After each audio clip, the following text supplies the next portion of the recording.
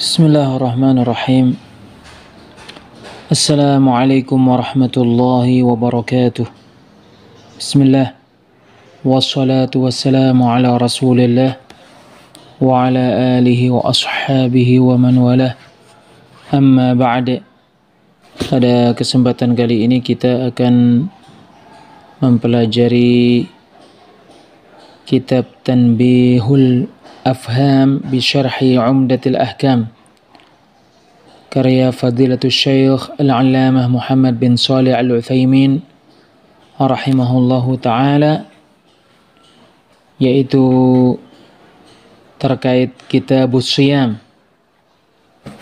Kitab tentang berpuasa. Kitab Siyam kitab tentang puasa Siyami lughatan wa syar'an. Pengertian puasa secara bahasa dan secara syariat.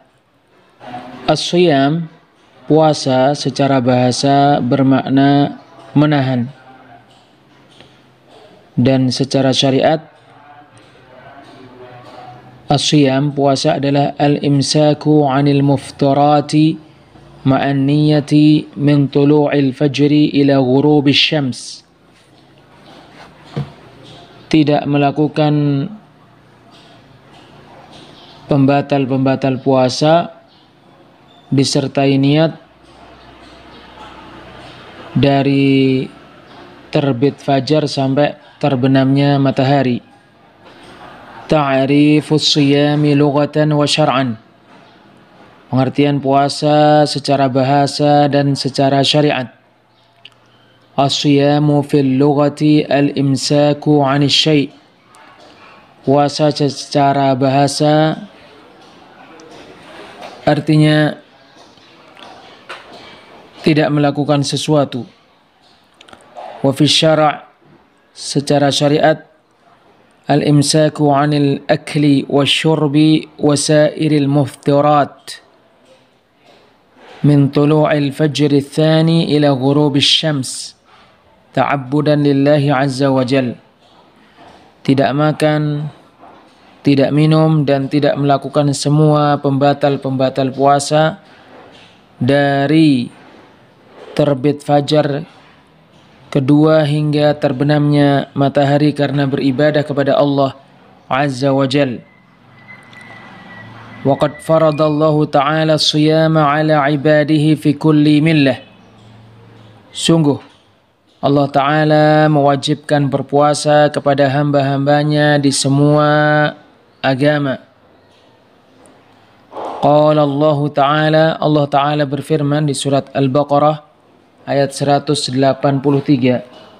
يا أيها الذين آمنوا كتب عليكم الصيام كما كتب على الذين من قبلكم لعلكم تتقون Wahai orang-orang yang beriman Diwajibkan kalian berpuasa Sebagaimana diwajibkan kepada orang-orang sebelum kalian Agar kalian bertakwa Allah subhanahu wa ta'ala mengabarkan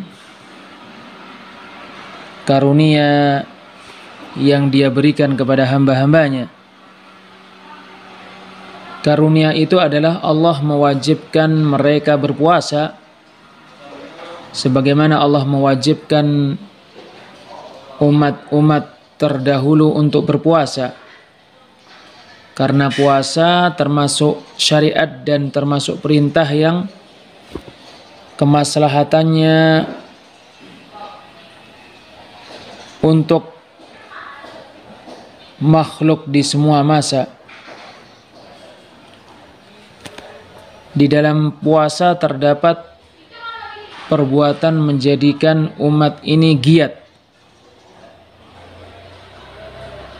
Bahwasanya seyogianya kalian berlomba-lomba dengan selain kalian untuk menyempurnakan amalan-amalan dan untuk bersegera melakukan perilaku-perilaku yang baik.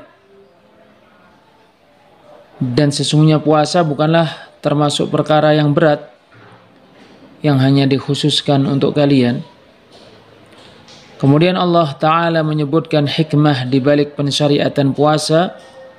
Maka Allah Subhanahu wa Ta'ala berfirman, la'allakum tattaqun agar kalian bertakwa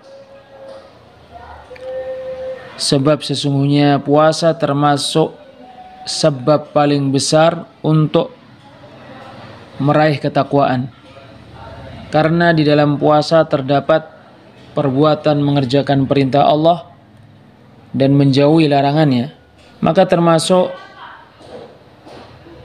perkara yang dicakup oleh puasa yang termasuk ketakwaan adalah Sesungguhnya orang yang berpuasa meninggalkan apa yang Allah haramkan yaitu makan, minum, jima dan selainnya yang mana jiwa condong kepadanya dalam rangka untuk mendekatkan diri kepada Allah dengan perkara itu dengan mengharap ganjaran dari Allah karena meninggalkan perkara-perkara haram itu. Maka ini termasuk takwa termasuk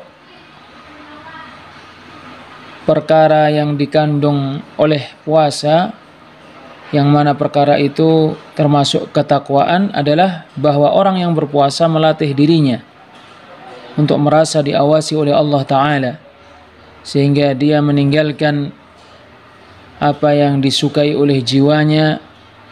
Padahal dia mampu untuk melakukannya karena dia mengetahui Allah mengetahuinya Termasuk perkara yang dikandung oleh puasa yang merupakan ketakwaan adalah sesungguhnya puasa mempersempit gerak setan.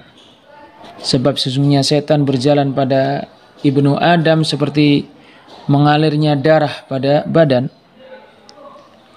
Maka jalan untuk mengalirnya setan itu dipersempit dengan berpuasa sehingga kemaksiatan-kemaksiatan menjadi sedikit. Termasuk perkara yang dikandung oleh puasa yang merupakan ketakwaan adalah sesungguhnya kebanyakan orang yang berpuasa banyak melakukan ketaatan dan ketaatan-ketaatan termasuk perkara-perkara ketakwaan. Termasuk perkara yang dikandung oleh puasa yang merupakan ketakwaan adalah Sesungguhnya orang yang kaya apabila merasakan rasa sakit karena lapar yang dirasakan oleh orang-orang miskin, maka itu akan membuatnya membantu orang-orang yang tidak mampu, orang-orang miskin. Dan ini termasuk perilaku ketakwaan.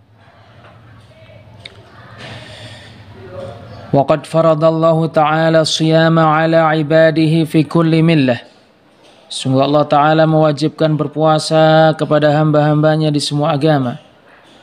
Qala Allah Ta'ala, Allah Ta'ala berfirman, Ya ayyuhalladzina amanu kutiba alaikumus siyamu kama kutiba ala alladzina min qablikum la'allakum tattaqun.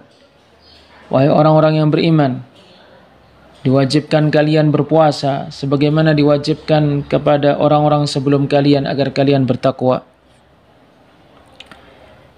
وإنما فرضه تعالى على جميع الأمم لأنه عبادة عظيمة يتجلى فيه صدق محبة العبد لربه وتعظيمه له والتماس رضوانه Sesungguhnya Allah Ta'ala mewajibkan puasa kepada semua umat-umat karena puasa adalah ibadah yang sangat agung yang nampak padanya kejujuran cinta seorang hamba kepada Rabbnya, pengagungan hamba kepada Rabbnya, dan perbuatan hamba mencari keridhaan Rabbnya.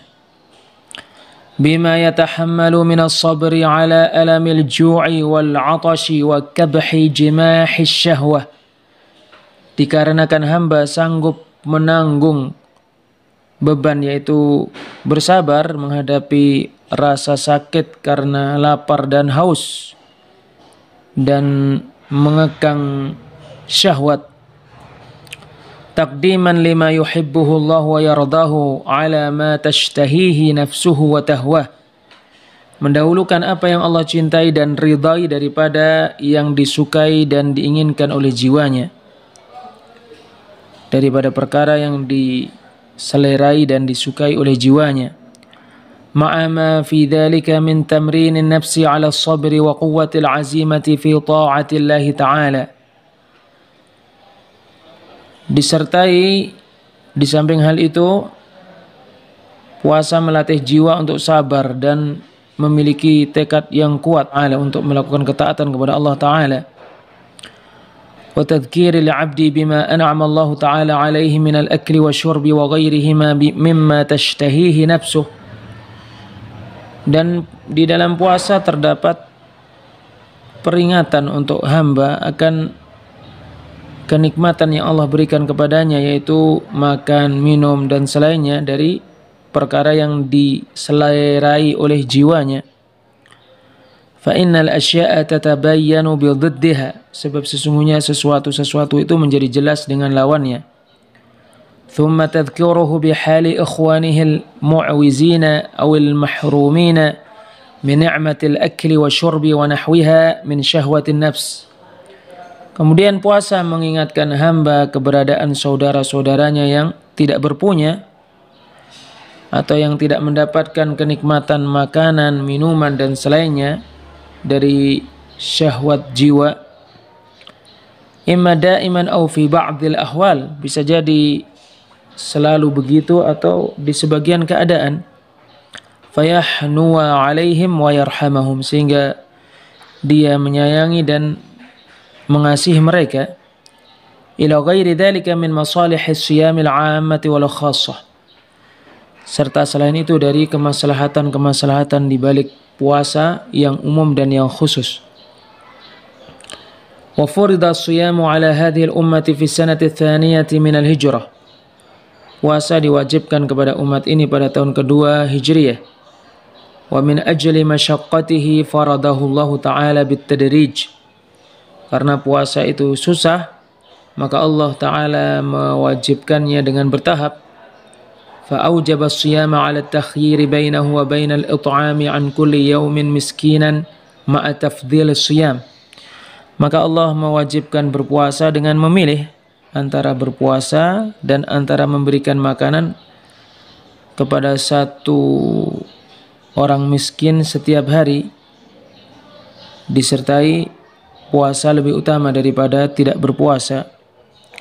ثم أوجب الصيام علينا ورخص للمريض والمسافر في الفطر على أن يقضي عدة من أيام أخرى بعد زوال عذرهما Kemudian Allah memberikan keringanan untuk orang yang sakit dan untuk orang yang safar untuk berbuka dan untuk mengqadha di beberapa hari yang lainnya setelah udur mereka berdua hilang. Wallahu a'lam bissawab. Wassalamualaikum warahmatullahi wabarakatuh.